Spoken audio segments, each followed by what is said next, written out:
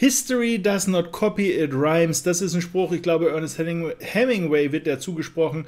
Die Vergangenheit ist nicht immer exakt die gleiche, aber sie sieht doch so ähnlich aus, dass es sich quasi reimt. Wir hatten noch vor einer Woche eine Situation beim Dow Jones, der maßgeblich in die Knie gegangen ist, deutlich runter und sich allerdings im Nachgang wieder erholt hat. Und äh, jetzt am Wochenanfang oder beziehungsweise gestern hatten wir die Situation beim Nasdaq Index hier, den Nasdaq Future, den wir jetzt hier aktuell sehen, der massiv nach unten gegangen ist, 2,3, was weiß ich, wie viel Prozent, 2,4 glaube ich in der Spitze. Hier der Verlust, aber das Ganze schon halbwegs wieder aufgeholt.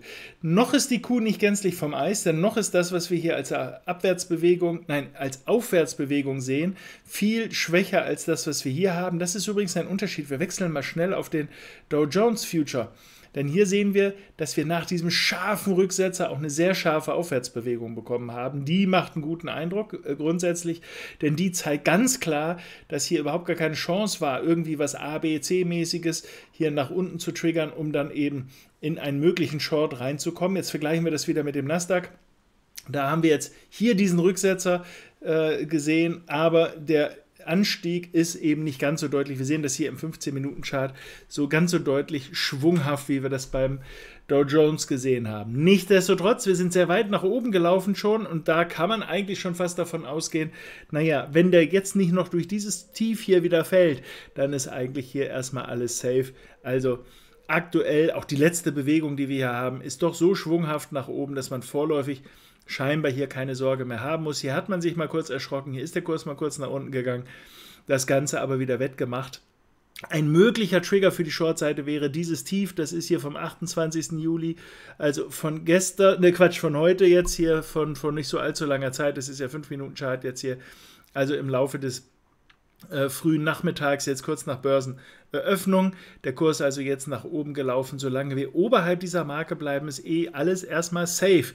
Da müssen wir auch nicht wirklich mehr erwarten. Allerdings, wenn wir hier doch nochmal durch sollten, dann ist nicht nur diese Marke, sondern auch wahrscheinlich diese hier nochmal in Gefahr, dass der Kurs sich nochmal nach unten fortsetzt. Mit einer gewissen Restchance, dass es sogar noch weiter nach unten geht. Das wird man dann sehen, ob der Kurs dann so weit nochmal da ausholt. Also, erstmal die Sorge beim Nasdaq vorläufig vorüber, denn äh, durch die Höhe, die wir jetzt hier gesehen haben, ist alles gut.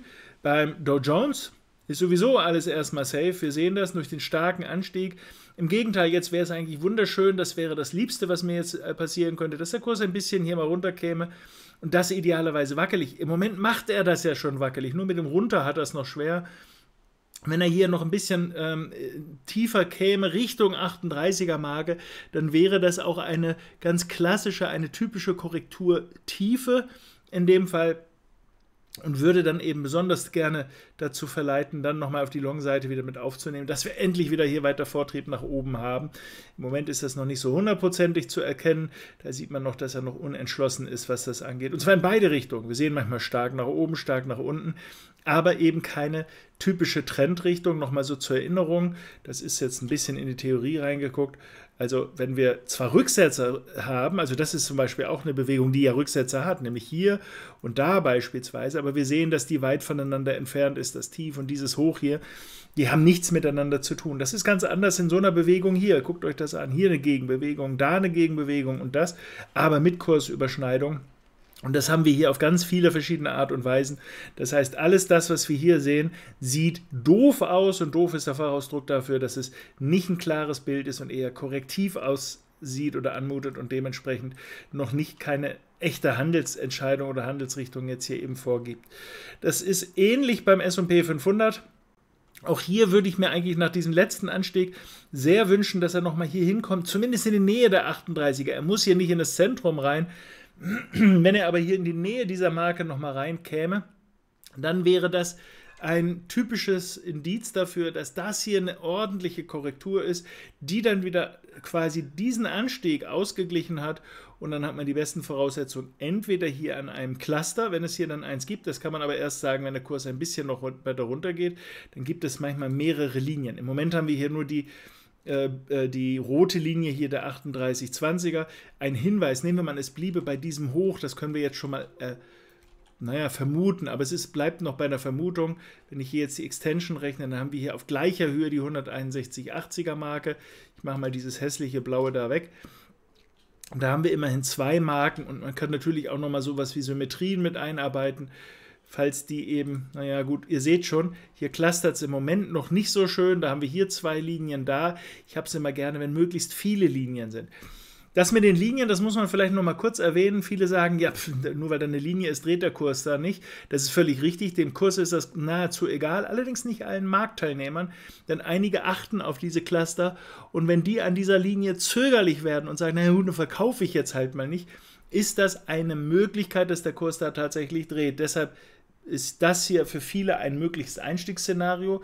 Für mich ist das alleine nicht ausreichend. Also nur wenn der Kurs jetzt da dran kommt, gehe ich nicht long. Aber dort gucke ich dann quasi mit der Lupe da drauf, ob der Markt dann hier zum Beispiel, das ist ja im 4-Stunden-Chart, dort im 5-Minuten-Chart dann zum Beispiel irgendwie sowas macht, also wieder irgendwie was mit Stärke hoch und Schwäche nach unten, dann gilt wieder das Trigger-Prinzip und dann hat man das große Bild, was wunderbar passen würde, mit dem kleinen, das den richtigen Verlauf dann hier eben anzeigt. Also das ist etwas, auf das ich da achte. Also tatsächlich Rücksetzer hier bei diesen Märkten würde mich nicht wundern, im Gegenteil würde mich freuen.